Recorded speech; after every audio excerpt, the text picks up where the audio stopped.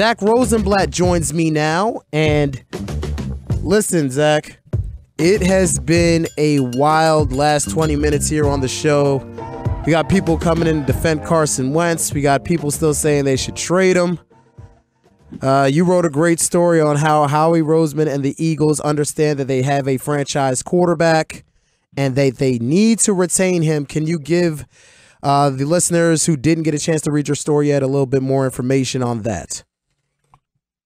Yeah, you know, one of the bigger topics of discussion uh, when we talked to Howie Roseman yesterday was, you know, centered around the, the reasons why they're making a lot of decisions they've made this offseason and why they've looked more towards the future on in compensatory picks and, and signing veteran guys at cheaper salaries. And, and it really all just circles back to Carson Wentz and his coming contract. They, they clearly, you know, this is the first time I think Howie's explicitly said, like, we want to sign Carson Wentz to an extension, like it's going to happen.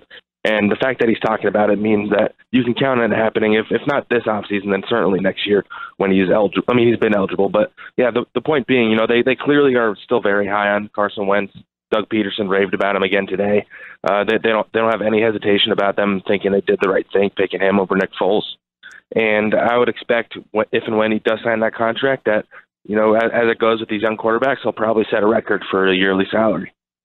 Do you think it's wise that the Eagles at least wait till after this season to see if Carson one can stay healthy, two can at least duplicate or at least come close to that 2017 regular season where in my opinion he was the MVP of the league. And last but not least, show that all these character concerns that came out, while it be all either true or not true, uh, kind of all wash away. Are those things that you want to see before the Eagles commit so much money to him? You know, it's a it's a double edged sword because they clearly are committed to him and they are confident that he's going to be that guy from 2017. And if you feel that way and you have that confidence and you're not worried about the injuries and all the the attitude stuff, then you kind of it kind of would behoove them to sign him sooner because, you, like I said, you know, every time a quarterback signs, they become the highest paid quarterback, and you have to think about the fact that next offseason, Patrick Mahomes is going to be eligible for an extension, and you can be sure that he's going to set a record and he might even blow it out of the water. And if if he sets the mark in in a different way, then all of a sudden you're looking at the difference between paying Carson Wentz thirty million a year and paying him thirty five million a year, if not more than that. So it, it, these are all things you have to consider. I, you know, just sitting here right now, I think it does make a lot of sense to to play out this season, see how it goes. They do have the option of simply extending him his fifth year option, which I think would be around twenty five million dollars. But at the same time, if this is a guy that you you view as your long term quarterback and they and they think is going to be okay, then I think it, it makes some sense to sign him now. You know, they're they're, they're building the cap. They're the way how he structured these contracts. They they're a lot of uh, you know they're, they're worth a lot more money later in the contract, which you know points towards the Eagles you know, paying Carson Wentz sooner rather than later. I don't know how soon exactly that's going to be. I could see the argument both ways. I could see the argument for paying him right now. I could see the argument for waiting until next year, or even you know maybe it's week eight and and they're pretty happy with the way he's playing, and they decide to throw him a contract extension. Then you know they've done that with Alshon Jeffery in the past, and and Timmy Jernigan got his extension in the middle of the season. So I think all three of those options are on the table. We're talking with Zack Rosenblatt. You can follow him on Twitter at Zack Blatt, uh, capital Z, capital B. Uh, he's the Eagles beat writer for NJ.com. Uh, Zack, so looking at the Eagles roster right now, they added DeSean Jackson uh, you know, got the return there. They got Vinny Curry back. What do you believe are still the glaring holes that are keeping the Eagles from last year? Remember, after the Super Bowl, everybody were talking about how they expect this team to be one of the top teams in the NFC. To now, people are saying, well, okay, can they even be the top team in their division anymore? You know, I, I, their roster, you know, you have guys getting healthy, which I think is a huge factor considering they have a lot of guys that were lost for the season with injury last year. I think top to bottom, this is one of the better rosters in the NFC. There's not many like clear holes until you go like down the depth chart a little bit. But the most obvious one and the one I hear the most about from fans in particular is the running back position. Of course, they still haven't added anybody. So as of now, their only guys they have returning are Corey Clement, Josh Adams, Wendell Smallwood, and even Boston Scott. These, these those are all rotational guys at best in reality. And it's pretty clear running back is a need. It's also pretty clear they don't maybe value that position as much as some other teams do. So I wouldn't expect. I, wouldn't be surprised if they didn't do anything until the draft or later. That's kind of what they've been saying. Um, so I would say that's a big need. I would say linebacker. They could use some more talent there. That's another position they don't really value that much. So I don't think they're going to invest very heavily in it. And then one I have my eye on is defensive end because you know you have Brandon Graham coming back. He is 30, turning 31. You have Derek Barnett, who missed most of last season after a shoulder surgery. And Chris Long is still a question mark. We don't know if he's going to retire. Vinny Curry is 30 years old and coming off one of his worst seasons, though he was hurt quite a bit last year. And that we don't really know what they haven't Josh Sweat yet. So I think defensive end, you know, in terms of the future, maybe not necessarily this season, but I think if you look beyond 2019, I think defensive end is a position they really need to invest in in the draft. When you look at the backup quarterback spot, obviously Nate Sudfeld, they put that second round tender on him. They obviously think high of him.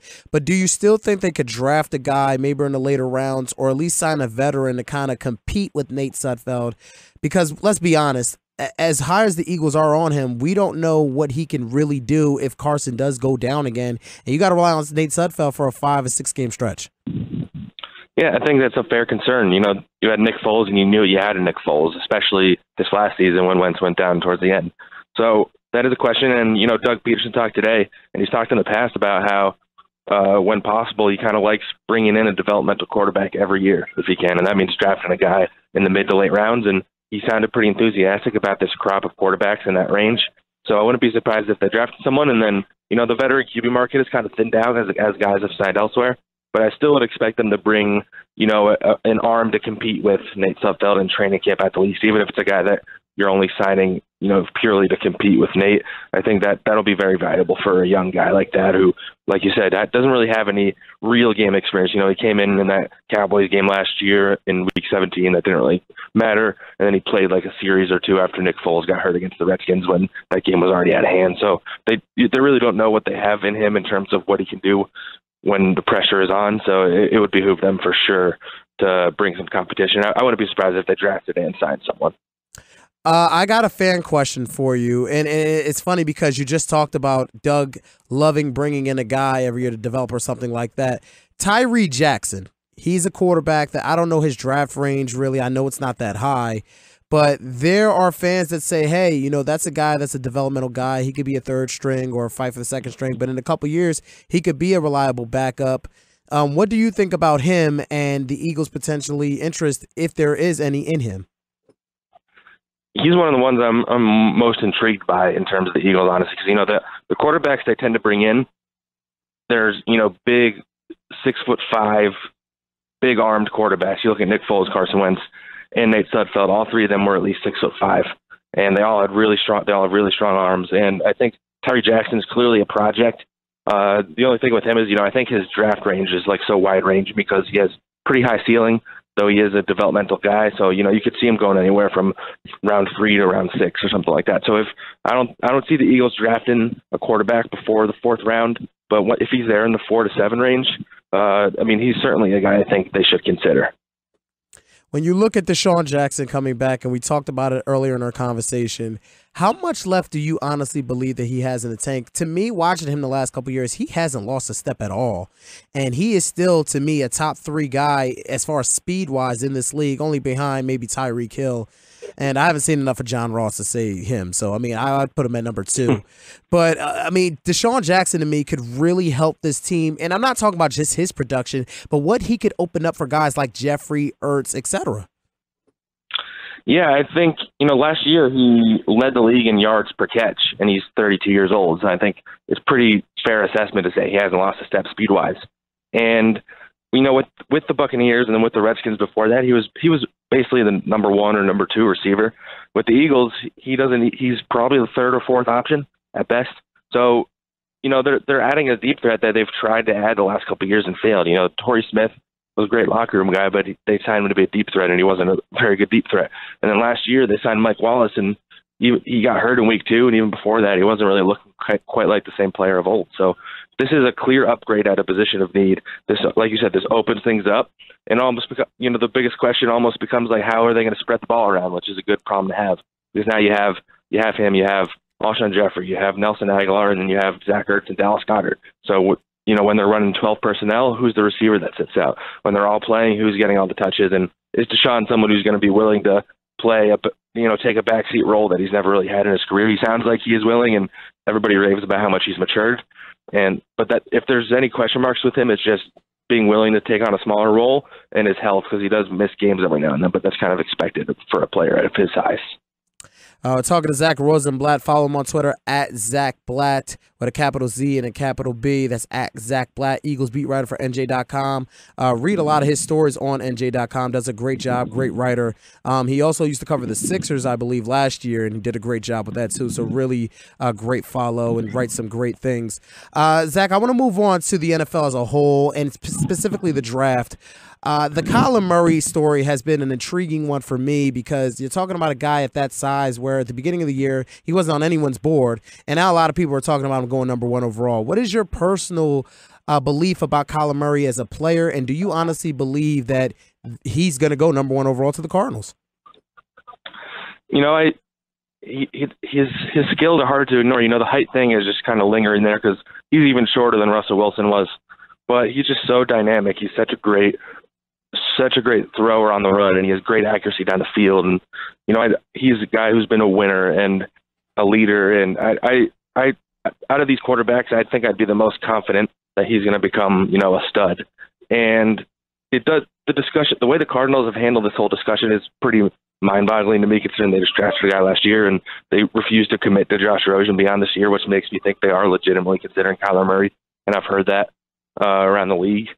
And I, I mean, the thing is, you know, if you think Kyler Murray is, is capable of being a superstar, then you don't worry about it too much. You get him, and then you see what you can get for Josh Rosen on the open market. And I think that's a legitimate possibility.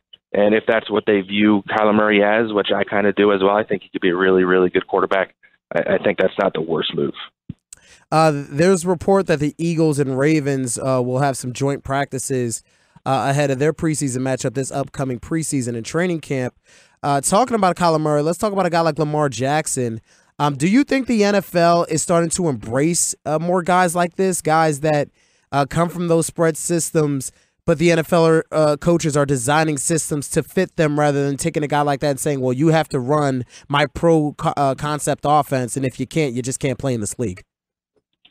Well, I think what you're saying, I think around the league, coaches are getting a lot smarter. There's a lot more analytics involved. There's a lot more you know, I think the Eagles even played a big part in this. You know, teams are working more towards bringing talented players and then figuring everything out else out afterwards. You bring the best players you can into your system, and then you make it work around them. The Eagles had a system for Carson Wentz, and then they changed it for Nick Foles, and and it worked. You know, like a glove. And John Harbaugh, you know, he has a, he has a background with the Eagle organization too, obviously, and you know, they they picked Lamar Jackson full well knowing what his skills were and they started once he came in. You saw they they went from a passing offense to almost a run exclusive offense, and it worked. And they, I know that he struggled in that game in the playoffs, but you know Lamar Jackson, he's a really dynamic weapon, and you do what you can to get the ball in the hands of a guy like that. And I think it's not as simple anymore as just is this guy only a runner? Is this guy only a thrower? You just you build the offense around your talent, and if the guy is talented enough to to be the kind of player that Lamar Jackson is, you make it work.